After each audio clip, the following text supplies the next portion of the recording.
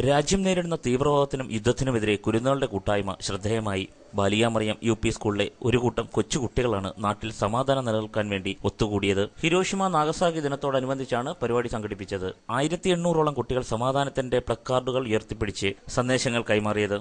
മുതിർന്ന വിദ്യാർത്ഥികൾക്ക് primary class വിദ്യാർത്ഥികൾ യുദ്ധവിരുദ്ധ സന്ദേശം കൈമാറി മാതൃകയായത്. കൊല്ലം കർബല ജംഗ്ഷനിൽ നിന്നും ശ്രീനാരായണ വനിതാ കോളേജിന് മുന്നിലൂടെ ബാലിയാമറിയ സ്കൂൾ വരെ സമാധാന ചങ്ങല തീർത്ത് സമൂഹത്തിന് വേറിട്ടൊരു സന്ദേശം നൽകി. ഏകദേശം ഒരു കിലോമീറ്റർ ദൂരം കുട്ടികൾ സമാധാന ചങ്ങലകൾ തീർത്തു.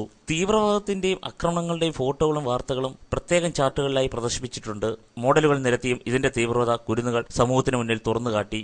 കൗതുകത്തോടെയാണെങ്കിലും കാണികൾ തീവ്രത മനസ്സിലാക്കിയാണ് മടങ്ങിയത്. പ്രധാന അധ്യാപിക ലിൻസി മേരിയും സഹ അധ്യാപകരുമാണ് സമാധാന ചങ്ങലയ്ക്ക് നേതൃത്വം നൽകിയത്.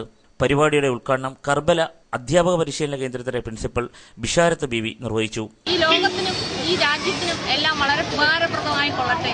അതിന്റെയോടൊപ്പം തന്നെ ഈ പുണ്യമാസത്തിന്റെ ഒരു വലിയ അനുഗ്രഹമായിട്ട് തന്നെ നിറകൊള്ളട്ടെ. സമാധാനത്തിന്റെ ചിഹ്നമായ വെള്ളരിപ്രാവിനെ ആകാശത്തേക്ക് പറത്തിയാണ് ഉദ്ഘാടനം നിർവഹിച്ചത്. നിരവധി സമൂഹ ബോധവൽക്കരണ പരിപാടികൾ ഇതിനു മുമ്പും ഇവർ സംഘടിപ്പിച്ചിട്ടുണ്ട്. News bureau Kollam.